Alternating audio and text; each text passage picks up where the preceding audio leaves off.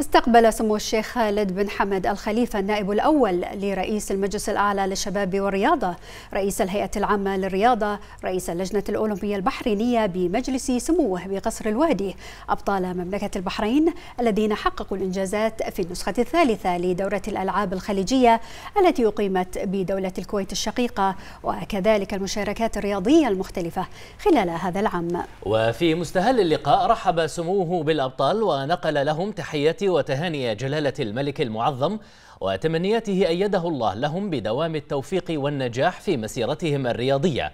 وقال سموه نعرب عن اعتزازنا وفخرنا بإنجازاتكم المشرفة التي سطرت نجاحات جديدة تضاف لسلسلة النجاحات التي تحققت في الرياضة البحرينية والتي جاءت بفضل دعم ورعاية ودعم سيد الوالد ملك البلاد المعظم الذي دفع رياضة نحو التألق والتميز وإحراز الإنجازات التي عززت من المكانة المرموقة لمملكة البحرين على خارطة الرياضة العالمية. مثمنا سموه مساندة واهتمام ودعم سمو ولي العهد رئيس مجلس الوزراء للرياضة الذي أسهم في تحقيق المنجزات في هذا القطاع الحيوي.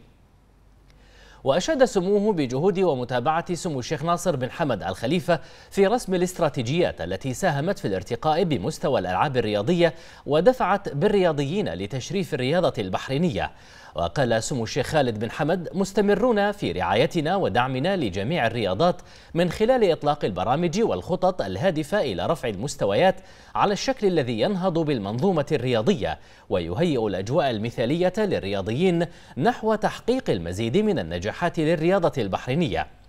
مشيدا سموه بالمستويات الفنية الكبيرة التي قدمها أبطال البحرين في مختلف المشاركات والتي برهنوا من خلالها على ما يمتلكه الرياضي البحريني من سمات ومميزات تدفعه لإحراز النتائج المشرفة التي تعكس من موقع تعزز من موقع البحرين على خارطة الرياضة قاريا ودوليا.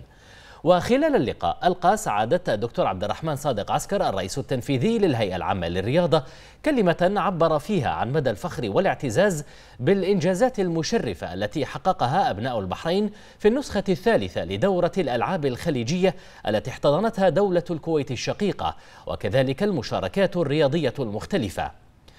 من جهته ألقى سعادة السيد فارس مصطفى الكوهجي الأمين العام للجنة الأولمبية البحرينية كلمة أكد فيها أن اللجنة الأولمبية البحرينية مضية في تحقيق المزيد من الإنجازات انطلاقا من مسؤوليتها في دعم ورعاية المنتخبات الوطنية وهو ما أثمر عن تحقيق سلسلة من الإنجازات الإقليمية والقارية والعالمية.